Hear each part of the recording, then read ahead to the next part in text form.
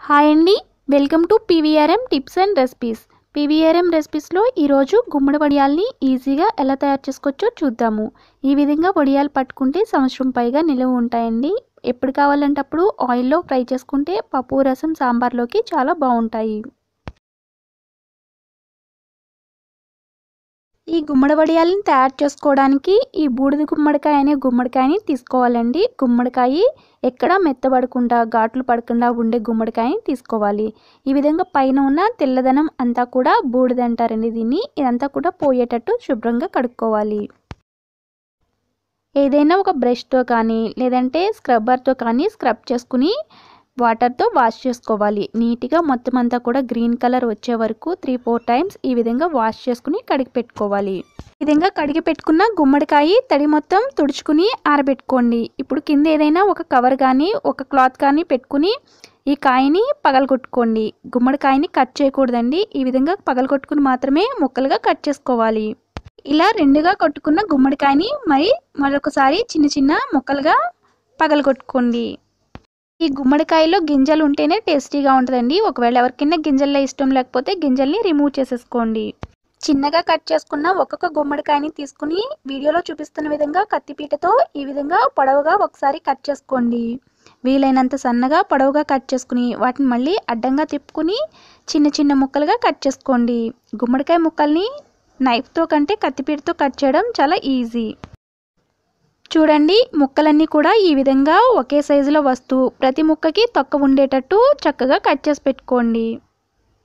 చిన్న సైజులో ఉన్న గుమ్మడికాయని కట్ చేసి పెట్టుకుంటే ఇన్ని ముక్కలు అయినాయండి ఇప్పుడు ఈ ముక్కలన్నిటిని కూడా ఒక కొలతతో కొలుచుకోండి. ఎయిటీస్ టు వన్ రేషియోలో గుమ్మడి ముక్కల్ని మినపప్పుని తీసుకోవాలి. అంటే ఎనిమిది కప్పుల గుమ్మడి ముక్కలు ఉంటే ఒక కప్పు వరకు మనం మినపప్పుని తీసుకోవాలి.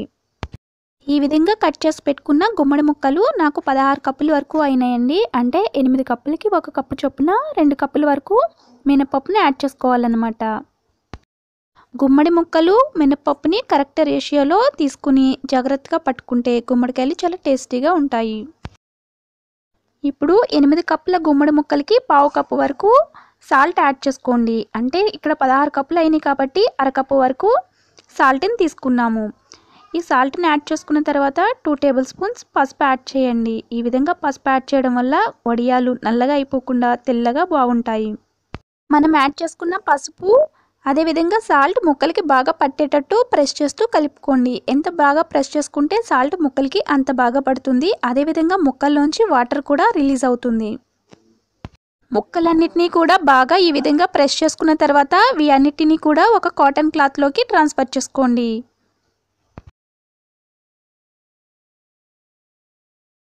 ముక్కలన్నిటినీ కూడా ఈ విధంగా కాటన్ క్లాత్లో పెట్టుకుని కాటన్ క్లాత్ నాలుగు చెంగుల్ని పట్టుకుని నాలుగు చెంగులు కలుపుతూ కింద రొటేట్ చేస్తూ తిప్పుకోండి. అంటే ముక్కల్ని కిందకి పిండుతున్నట్టుగా తిప్పుకోవాలి. ఈ విధంగా చేసుకోవడం వల్ల ముక్కల్లో పామైన వాటర్ అంతా కూడా కిందకి ఫిల్టర్ అయిపోతుంది. పైన బాగా తిప్పుకుంటూ ప్రెస్ చేస్తూ తిప్పుకోండి. ఈ విధంగా తిప్పడం వల్ల మొత్తం వాటర్ అంతా కూడా ఫిల్టర్ అయిపోతుంది. చూసారు కదండి ఈ ముక్కల్లోంచి ఎంత ఎక్కువగా వాటర్ వస్తుందో. మనం పసుపు యాడ్ చేసాం కాబట్టి వాటర్ ఎల్లో కలర్లో ఉందండి. ఈ విధంగా ముక్కల్ని వేసుకున్న క్లాత్ని ముందుగా ఒకసారి ఉతికి ఆరబెట్టిన తర్వాత ఈ ముక్కల్ని యాడ్ చేసుకోవాలి. ఇలా మొత్తం అంతా కూడా వాటర్ని ఫిల్టర్ చేసుకున్న తర్వాత వీటిని ఒక స్టూల్ మీద కానీ లేదంటే ఒక స్లోప్గా ఉన్న ఏదైనా ఒక అరుగు మీద కానీ పెట్టుకోండి. దాని మీద ఒక కవర్ని పెట్టుకోండి. ఆ కవర్ పైన మనం ముక్కల్ని కట్టి పెట్టుకున్న మూటని ఉంచండి. మూటని ఈ విధంగా కొంచెం స్లోప్గా వచ్చేటట్టు పెట్టుకోండి. దీనిపైన చాలా ఎక్కువగా బరువుగా ఉండే ఏదో ఒక ఐటమ్ని ఐటెంని పెట్టుకోండి.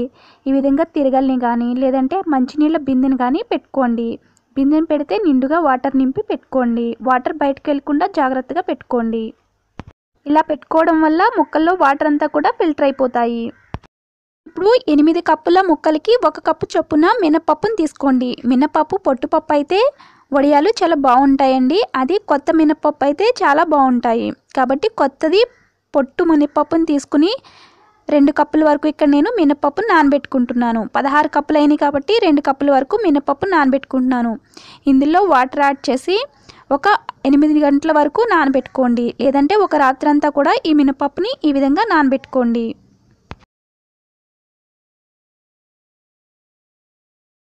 నెక్స్ట్ డే మార్నింగ్ తెల్లారిన తర్వాత ఈ విధంగా కొంచెం పచ్చిమిర్చిని తీసుకుని ఒక ఇరవై ముప్పై వరకు పచ్చిమిర్చిని తీసుకోండి.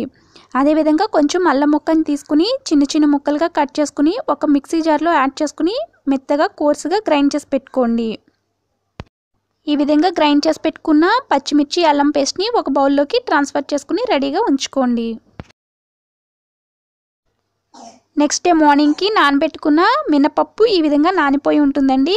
ఈ పప్పుని ఈ విధంగా ప్రెస్ చేస్తూ పొట్టు మొత్తం పోయేలాగా కడుక్కోండి. పొట్టంతా తీసేస్తే పప్పు ఈ విధంగా ఉంటుందండి. దీనిని గ్రైండర్లో కానీ రుబ్బురోల్లో కానీ రుబ్బుకోండి. గ్రైండర్లో యాడ్ చేసుకుని గారెల పిండిలాగా గట్టిగా మరింత మెత్తగా అయ్యేటట్టు రుబ్బుకోండి. ఈ పొట్టుపప్పు ప్లేస్లో మామూలు పప్పు కూడా తీసుకోవచ్చండి. కాకపోతే వడియాలు అంత టేస్టీగా రావు. ఇలా ఈ విధంగా గారెల పిండిలాగా గట్టిగా మెత్తగా అయ్యేటట్టు రుబ్బుకోండి. ఈ విధంగా రుబ్బుకున్న పిండిని ఒక బౌల్లోకి ట్రాన్స్ఫర్ చేసుకోండి. ఇప్పుడు ఇందులోంచి సగం పిండిని తీసేసి సగం పిండిలో మనం ముందు రోజు మూటకట్టి పెట్టుకున్న గుమ్మడికాయ ముక్కల్ని తీసుకుని పిండుకుంటూ పిండిలోకి యాడ్ చేసుకోండి. ఈ విధంగా ప్రెస్ చేస్తూ పిండుకుంటూ యాడ్ చేసుకోవాలండి. ఏమైనా ఎక్సెస్ వాటర్ ఉంటే అవి కూడా ఫిల్టర్ అయిపోతాయి. గుమ్మడికాయ ముక్కలన్నిటినీ కూడా ఇదే విధంగా ప్రెస్ చేసుకుంటూ మినపిండిలోకి యాడ్ చేసుకోండి. అన్నిటినీ కూడా ఈ విధంగా యాడ్ చేసుకున్న తర్వాత ముందుగా పేస్ట్లా రెడీ చేసి పెట్టుకున్న పచ్చిమిర్చి అల్లాన్ని కూడా యాడ్ చేసుకోండి. ఇప్పుడు ఈ మినప్పిండి గుమ్మడికాయ ముక్కలు మిర్చి అల్లం పేస్ట్ బాగా కలిసేటట్టు కలుపుకోండి. ఈ విధంగా కలిపి పెట్టుకున్న తర్వాత మిగిలిన మినప్పిండిని కూడా ఇందులో యాడ్ చేసుకోండి. సగం పిండితో ముందు ముక్కల్ని కలిపిన తర్వాత మిగతా పిండి యాడ్ చేసుకుని మళ్ళీ ముక్కలన్నింటినీ ఒకసారి కలుపుకోండి. పిండి ముక్కలు బాగా కలిసేటట్టు బాగా కలుపుకోండి. ఈ విధంగా కలుపుకున్న తర్వాత మినప్పిండి గుమ్మడి ముక్కల కన్సిస్టెన్సీ ఈ విధంగా అవుతుందండి. ఇప్పుడు ఈ పిండిని వడియాల్లా పట్టుకోవడానికి ఒక ప్లాస్టిక్ షీట్ తీసుకోండి. ఆ ప్లాస్టిక్ షీట్ని ఒక మంచం మీద కానీ లేదంటే ఏదైనా ఒక పైన ఫ్లోర్ మీద కానీ పెట్టుకోండి. ఈ విధంగా పెట్టుకున్న తర్వాత మనం ముందుగా రెడీ చేసి పెట్టుకున్న వడియాల పిండిలోంచి చిన్న చిన్న ముద్దలుగా తీసుకుని చిన్న బాల్ సైజ్ అంతా ఉండని తీసుకుని రౌండ్గా చుట్టి ప్లాస్టిక్ షీట్ మీద పెట్టుకోండి. ఈ విధంగా ఏ సైజులో కావాలంటే ఆ సైజులో పెద్దగా కానీ చిన్నగా కానీ మనకి ఎలా కావాలంటే అలాగా రౌండ్గా చుట్టి ప్లాస్టిక్ షీట్ మీద పెట్టుకోండి. ఇవి ఎండిపోయిన తర్వాత మంచి వడియాల షేప్లోకి వస్తాయండి. ఈ విధంగా పిండి మొత్తాన్ని షీట్ మీద ఈ విధంగా పెట్టుకోండి. ఒకదానికి అంటు ఒకటి అంటుకోకుండా కరెక్ట్గా వచ్చేటట్టు నెమ్మదిగా ఈ విధంగా పెట్టుకోండి. ఈ విధంగా వడియాలను పట్టుకునే ప్రాసెస్ని బాగా ఎండున్నప్పుడు మాత్రమే పెట్టుకోవాలండి. ఎండ ఎక్కువగా ఉంటేనే వడియాలు మనకి నిల్వ ఉంటాయి. అదేవిధంగా బాగా ఎండుతాయి. గుమ్మడి వడియాలు ఒక రోజు మొత్తం ఎండిన తర్వాత సాయంత్రానికి ఈ విధంగా రెడీ అవుతాయండి. అప్పుడు సాయంత్రం వీటిని ఎండలోంచి తీసుకొచ్చి ఒక చోట పెట్టుకోండి. వీటిని తెల్లారి మార్నింగ్ తీసి చూస్తే వడియం ఒక్కొక్కటి ఈ విధంగా వస్తాయి. ఇవి లోపల కొంచెం తడిగా పైన ఎండినట్టుగా ఉంటాయి. ఇప్పుడు ఈ ఒడియాలన్నింటినీ కూడా ఒక్కొక్కటిగా తీసి ప్లాస్టిక్ షీట్ మీద కానీ లేదంటే వేరే ఒక కాటన్ క్లాత్ మీద కానీ ఎండబెట్టుకోండి. ఈ వడియాలన్నీ కూడా అటువైపు కూడా బాగా ఎండిపోయేటట్టు ఎండబెట్టుకోండి. ఒక రోజు మొత్తం ఎండితే అటువైపు కూడా ఎండిపోతాయండి. అప్పుడు అటు ఇటు కూడా ఎండిన తర్వాత మరొక ఒకటి రెండు రోజుల్ని ఎక్స్ట్రాగా వడియాల్ని ఎండబెట్టుకోండి. లోపల ఏమైనా బాగా తడి ఉంటే అవి కూడా ఎండిపోయి వడియాలు ఎక్కువ రోజులు నిలువ ఉంటాయి. కంప్లీట్గా మూడు నాలుగు రోజులు ఎండిన తర్వాత వడియాలు ఇలా ఉంటాయండి. వీటిని ఏదైనా ఒక ఎయిర్ టైట్ కంటైనర్లో స్టోర్ చేసుకుంటే సంవత్సరం పైగా నిలువ ఉంటాయి. ఎప్పుడు కావాలంటే అప్పుడు ఎన్ని కావాలంటే అన్ని వడియాలను తీసుకుని ఆయిల్లో వేయించుకోవచ్చు. ఇప్పుడు ఈ వడియాల్ని ఏ విధంగా ఆయిల్లో వేయించుకోవాలో చూద్దాము. ఎన్ని వడియాలు అయితే కావాలో అన్ని వడియాలు ఒక ప్లేట్లోకి తీసుకోండి. ఒక బాండీ పెట్టుకుని అందులో డీప్ ఫ్రైకి సరిపడగా ఆయిల్ యాడ్ చేసుకోండి. ఆయిల్ హీట్ అయిన తర్వాత ఫ్లేమ్ని లోలో పెట్టుకుని ఒకటి లేదా రెండు వడియాల్ని ఈ విధంగా ఆయిల్లో యాడ్ చేసుకుని అటు ఇటు టర్న్ చేసుకుని ఫ్రై చేసుకోండి. కొంచెం గోల్డెన్ కలర్ వచ్చే వరకు ఫ్రై అయిన తర్వాత ఆ వడియం కొంచెం ఫ్లవర్ లాగా ఉబ్బినట్టుగా అవుతుందండి. అప్పుడు తీసేసుకుని ఒక ప్లేట్లోకి ట్రాన్స్ఫర్ చేసుకోండి. ఇదే విధంగా మిగిలిన వడియాలను కూడా ఫ్రై చేసుకుని ఒక ప్లేట్లోకి ట్రాన్స్ఫర్ చేసుకోండి. ఇంతేంటి సూపర్ టేస్టీగా ఉండే గుమ్మడి వడియాలు రెడీ అయిపోతాయి. మీకు కనుక ఈ వీడియో నచ్చినట్లయితే like share comment and please subscribe the channel.